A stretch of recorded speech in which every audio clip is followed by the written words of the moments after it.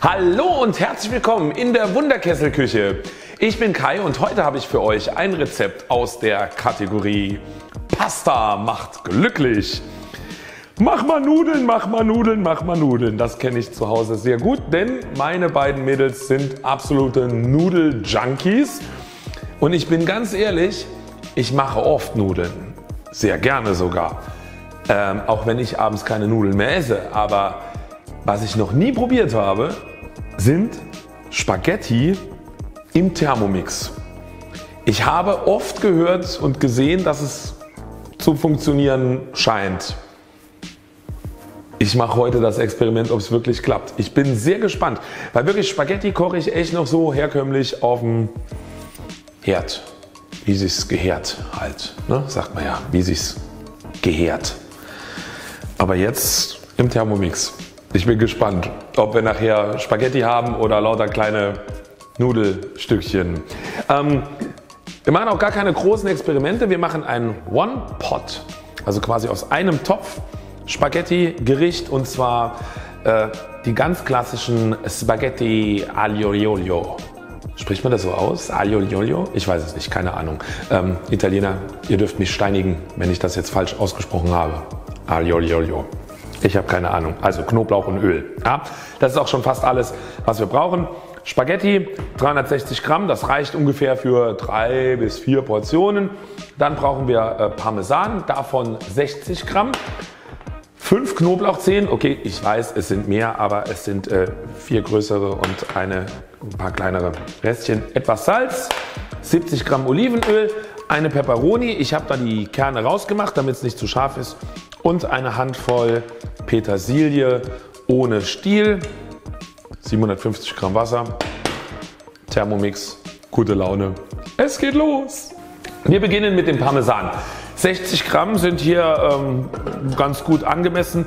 Ähm, das Ganze wird jetzt zerkleinert. Ja? Und zwar 10 Sekunden auf Stufe 8. Die Frage, warum kaufst du keinen geriebenen Parmesan, sondern schredderst den selber, beantworte ich ganz klar mit, weil ich es kann.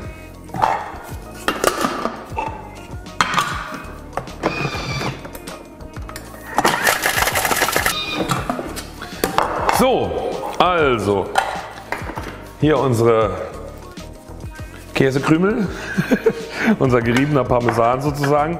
Ähm, ganz ehrlich, es, es, spricht natürlich nichts dagegen, wenn ihr geriebenen Parmesan kauft.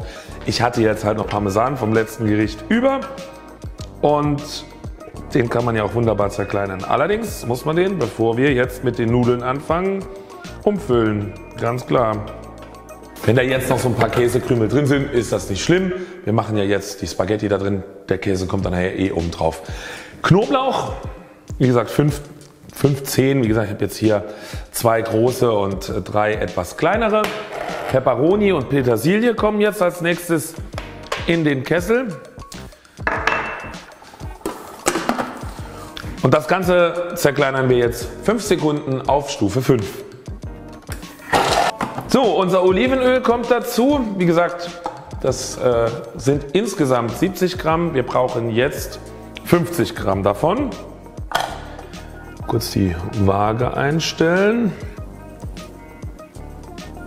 Ich mache aber mal hier die ähm, Petersilie noch ein bisschen nach unten, dass das alles gleichmäßig angedünstet wird.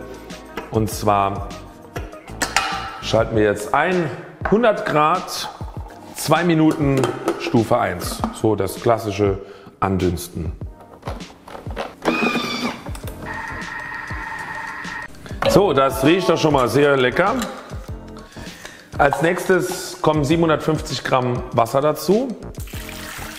Das Ganze wird jetzt noch etwas gesalzen, das Wasser. Ähm, ich nehme tendenziell immer lieber weniger Salz und salze nachher nach, als dass ich zu viel Salz habe. Und das Ganze wird jetzt 6 Minuten zum Kochen gebracht. Stufe 1 reicht da vollkommen aus. Also 6 Minuten einstellen, 100 Grad und dann laufen lassen. Es ist soweit. Das Wasser ist heiß. Experiment beginnt. ich bin echt gespannt, äh, wie das nachher aussieht. Weil Ne? Da ist ein Messer unten drin. Ich weiß, wir stellen es auf Linksstufe, äh, also Linkslauf und Sanftrührstufe. Aber trotzdem kann ich mir immer noch nicht vorstellen, ob das wie das, wir werden es sehen. 15 Minuten muss das Ganze jetzt laufen. 100 Grad. Sanftrührstufe Linkslauf.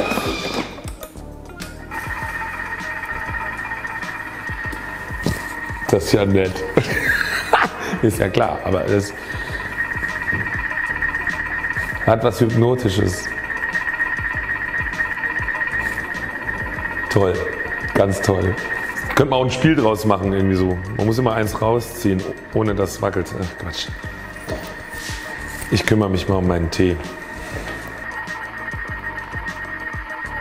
Noch fünf Sekunden Abkühlzeit.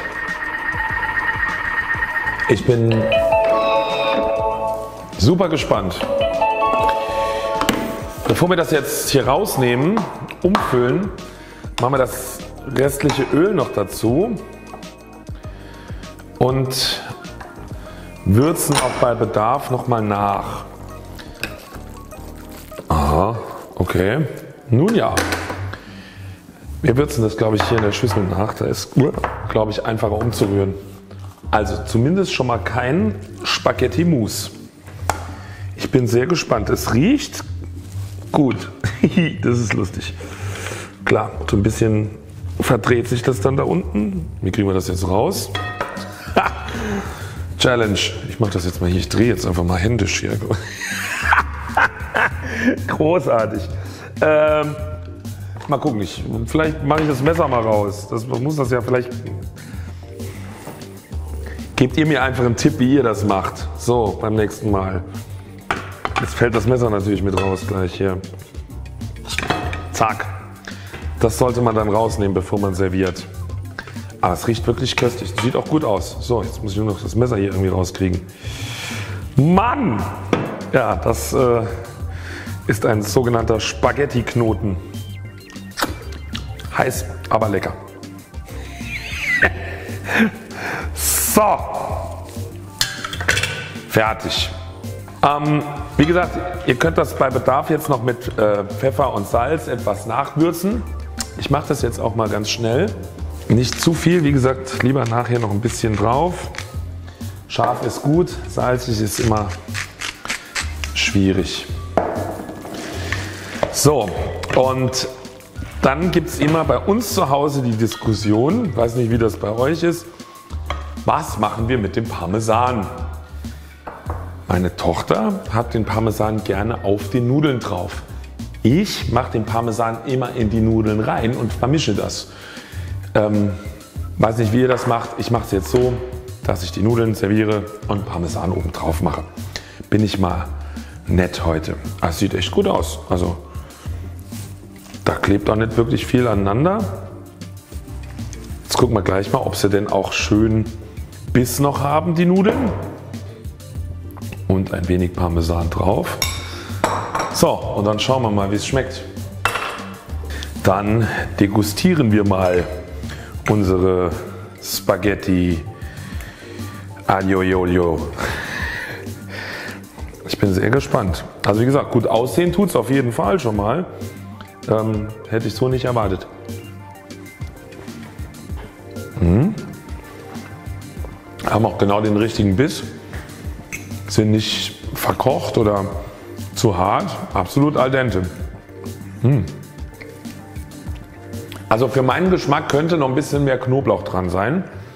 Das ist natürlich immer so eine Entscheidungsfrage, aber sonst schmeckt das richtig gut. Auch gerade mit dem Parmesan, dem frischen, selbst geriebenen Parmesan. Mmh. Also, ich hätte das so nicht erwartet, dass das so gut wird. Es ist ja mal das Schöne, dass wir hier Sachen aus unserem Forum ausprobieren und ein bisschen rumexperimentieren können und auch mal Sachen nicht so funktionieren, wie man sich das vielleicht vorstellt. Aber das hier hat auf jeden Fall meine Erwartungen übertroffen. Ist für mich durchaus eine überlegenswerte Alternative zum normalen Spaghetti kochen. Ihr könnt natürlich auch Spaghettis so ohne jetzt diese Aglio ähm, im Thermomix kochen. Dann müsst ihr halt vorher das Wasser aufkochen und dann einfach oben rein und nach der entsprechenden Garzeit euch richten. Ähm, das kann man durchaus mal machen. Aber das hier so als, als One-Pot, also wirklich aus einem Kessel, ein Kesselgericht, absolut klasse. Also kann ich nicht anders sagen. Wird auf jeden Fall auf meinen Speisenplan kommen, wenn das nächste Mal jemand sagt, mach mal Nudeln, mach mal Nudeln, wir wollen Nudeln. Das Einzige, was ich noch rausfinden muss, wie man das irgendwie geschickt aus dem Topf rauskriegt, ohne dass man das Messer abschrauben muss. Aber vielleicht habt ihr da irgendwelche Ideen. Dann könnt ihr mir das gerne schreiben, entweder hier unter das Video oder bei uns im Forum Wunderkessel. Da gibt es jede Menge tolle weitere Rezepte und Ideen. Wenn euch das Video gefallen hat, dann freue ich mich über ein Like und natürlich über ein Abonnement unseres Kanals. Wir haben jede Woche tolle Rezepte aus dem Wunderkessel Forum, die wir hier live und ungeschönt für euch kochen. Ich freue mich aufs nächste Mal, sagt bis dahin Tschüss, alles Gute oder wie man beim Italiener sagt, Ciao.